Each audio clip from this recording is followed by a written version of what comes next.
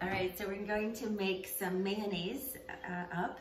So this is how fast you can make mayonnaise and this is how the, there's a bit of science because there's actually no milk product in uh, mayo, it's just whipped oil. And so watch how it happens. It's gonna transform before your very eyes. so I have in here my acid. So it call, you can use lemon juice or vinegar. Today I'm using vinegar and I'm making two cups of oil, like two eggs, so it's a double batch, if you will.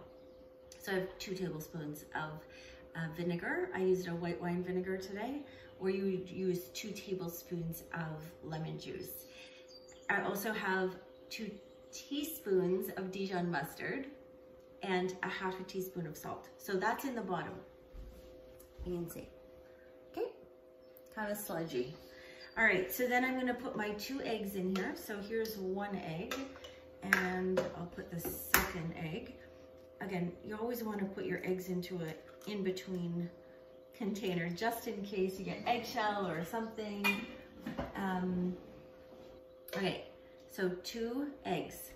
And then um, we pour in our two cups of oil. So I've until I used this immersion blender, I didn't realize that you could make mayonnaise this way because the other way to do it is put that in a blender and on kind of slow, you pour in a thin stream of um, oil. This way you put it all in and you let it settle. So you're gonna see the oil floats to the top and all your other stuff sinks to the bottom. How cool is this? All right, I'm gonna put this together. And then here's what we do. Is we put this down in, I'm gonna show you, I'm gonna put it down in. I need to set it down because I need two hands for a quick second. I'm going to press the release button right here underneath. Basically that lets me run it. Okay, so now I am blending the egg and stuff at the bottom. You can see that I'm kind of rotating around. I'm gonna start lifting it up as I go. I'm gonna lift it up, and what it's doing is it's pulling some of the oil in, and it's emulsifying it, so it's blending it with the other stuff.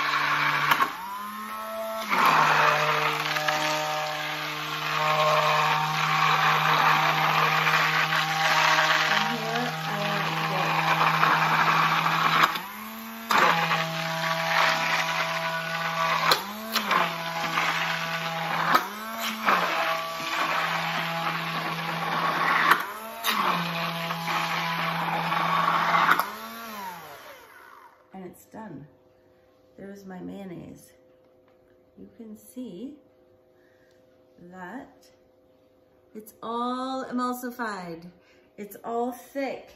And mine is a bit yellowish. That's just because the yolks of the hens are so dark. And oops, I didn't wash the, there's a little bit of Dijon on my scraper. So I'm simply gonna scrape this off, add it in, and put it in a container in the fridge. And that is it. We have a whole batch of mayonnaise made up.